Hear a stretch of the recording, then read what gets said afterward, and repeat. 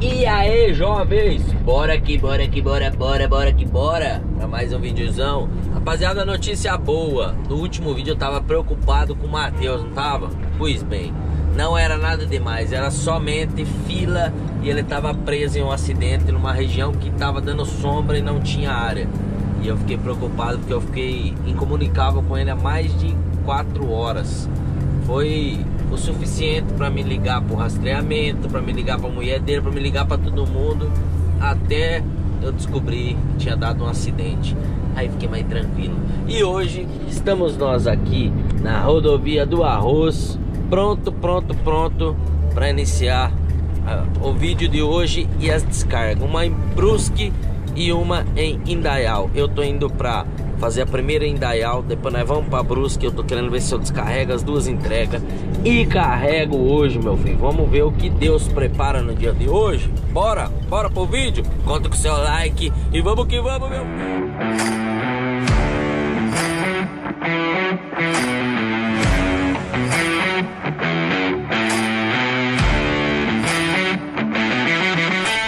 Por que, que essa rodovia tem o nome de rodovia do arroz? Plantação de arroz às margens da rodovia. Tudo plantação de arroz, ela é feita num banhado. Ali parece que é um lago. Mas não é não, é plantação de arroz. Olha lá. Positivo. Esse é o caminho, um dos caminhos que vai para Jaraguá, né? Dá para ir para 101 e pegar a BR lá direto, né? Mas eu prefiro por aqui. Tava, no Google tava dizendo que lá tinha trânsito, né? O pensador aqui deixou desviar o trânsito. É, quem já tá coladinho aqui no, no Google Maps é nós. Eu já tava achando, será que eu tenho que ir pela essa marginalzinha pra chegar na empresa, ó. 8h39, já estamos chegando aqui na empresa em Indaial, rapaziada. Lembrando que saímos ontem de manhã lá de BH, né? Olha que maravilha. O cara da transportadora tava preocupado, ele falou, você consegue descarregar até sexta? Foi ô meu filho. É claro. Relaxa o coração aí, meu filho, que é o pai que tá, né? O pai tá on aqui, meu filho. Amanhã cedinho já tô nas entregas. Cedinho não, né? Mentir pro tio, né? Porque agora já é quase 9 horas, 20 para as 9. Mas tá bom, né? A preocupação dele era se eu entregava até sexta. Acho que é aqui que eu tenho que entrar, hein? A preocupação era se eu entregava até sexta. Foi, você é doido, moço? Até sexta. Até sexta que ela entregar já tá carregado pra subir de novo. Tá doido, é?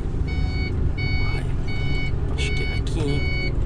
Vamos Mitch, seu cavalo, tem que chegar antes das 8, 7, 6 e meia, 5 e meia da manhã nas portas da empresa. Por quê? Daí você chega não tá cheio de caminhão, ó.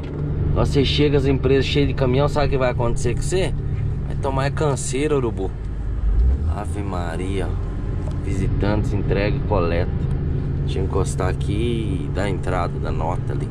Assim que faz, ó. Encosta no pátio, dá a nota na entrega e aguarda no pátio. Calça sapato motorista. Ali, ó, há vagas. Deve ter vaga de emprego nesse lugar aqui. A você é de Jaraguá tá precisando de emprego. Aqui na metalúrgica FEI. Aí, deixa eu manobrar. E olha como é que é cultural a diferença de cultura, né? Se fosse em outros estados, Minas, Bahia, outro estado, né? Paraná tá começando essa cultura também. Não sei se aqui tem. Quem é da região pode comentar. Geralmente na frente das empresas, mas deve ser mais cedo, né? Não 9 horas da manhã, que nem é o caso agora. Mas geralmente na frente das empresas, assim, sempre tem gente que vem com o carro, encosta e fica servindo café. Aqui não é o caso, porque uma empresa meio retirada em 9 horas da manhã, mas não sei se vem nos lugares. Mas sempre tem isso nos outros estados, né? Deixa eu lá dar entrada nessa nota. E vamos ver se vai ser canseira pra descarregar. É, menino, 10h44, 15 para as 11 da manhã, saindo de Indaial em busca de Brusque, Santa Catarina, a terra onde as roupas são baratinho. Essa região aqui as roupas é baratinho, meu filho. Que não tem desculpa pra você ficar andando com roupa velha rasgada, não. O que, que é? Com 10 reais você compra camisa.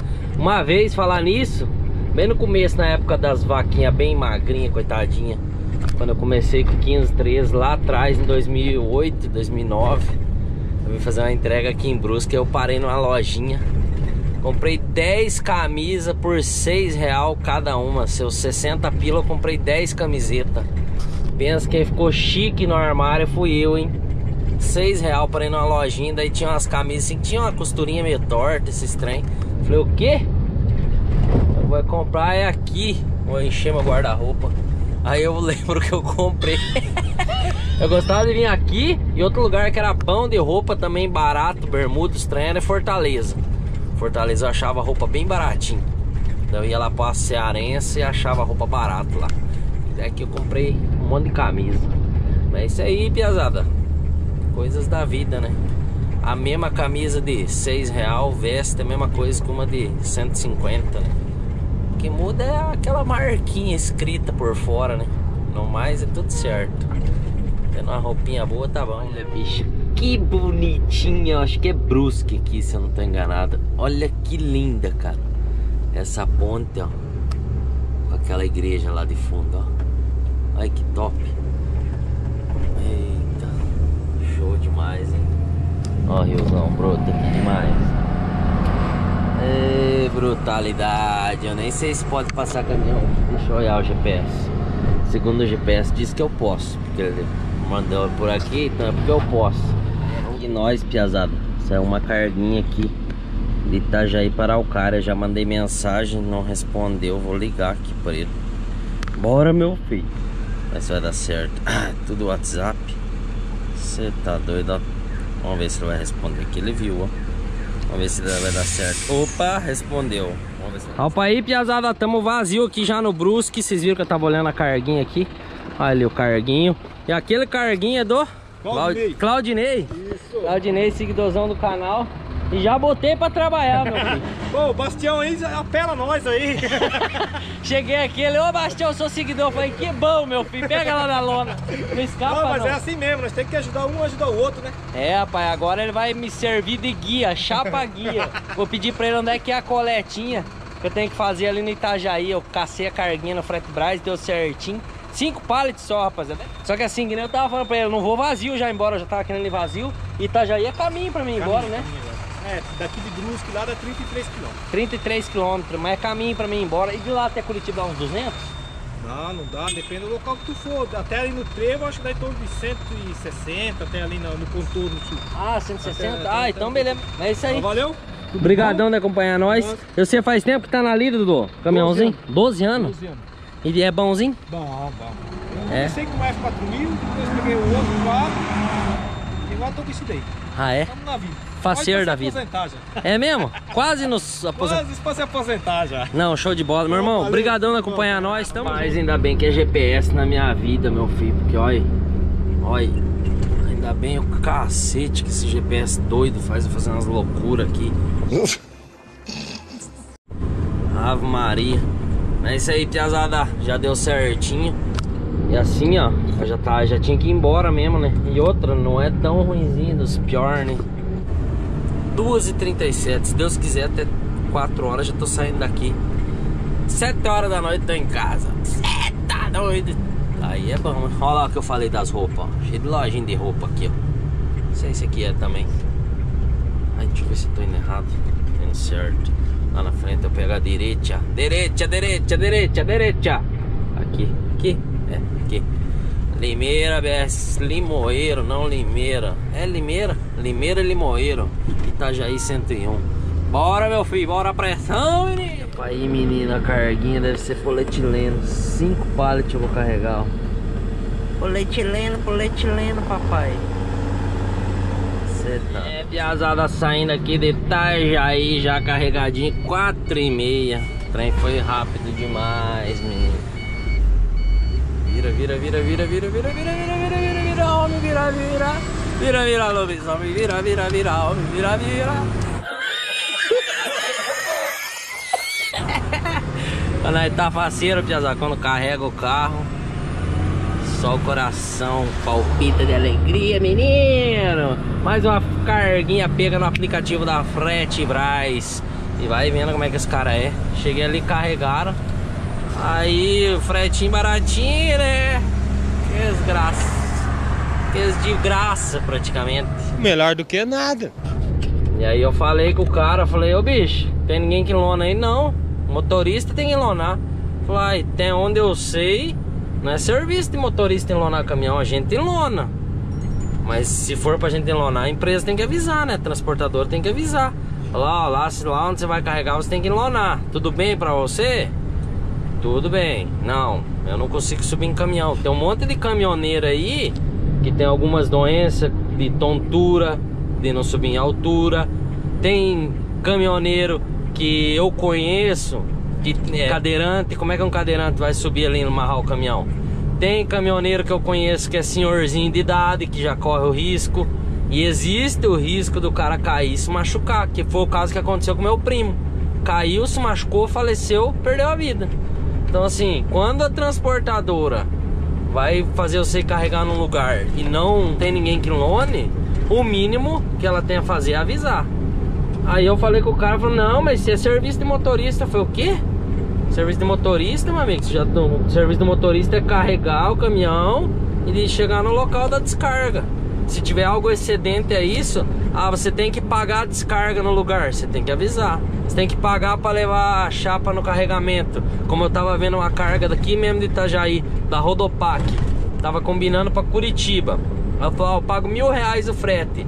Só que você tem que arrumar um chapa para ir lá no carregamento para enlonar que a empresa é chata. Eu falei, você paga mais? Ela falou, paga 200 reais a mais pra você levar um chapa para enlonar lá. Ó a diferença. Avisou tal.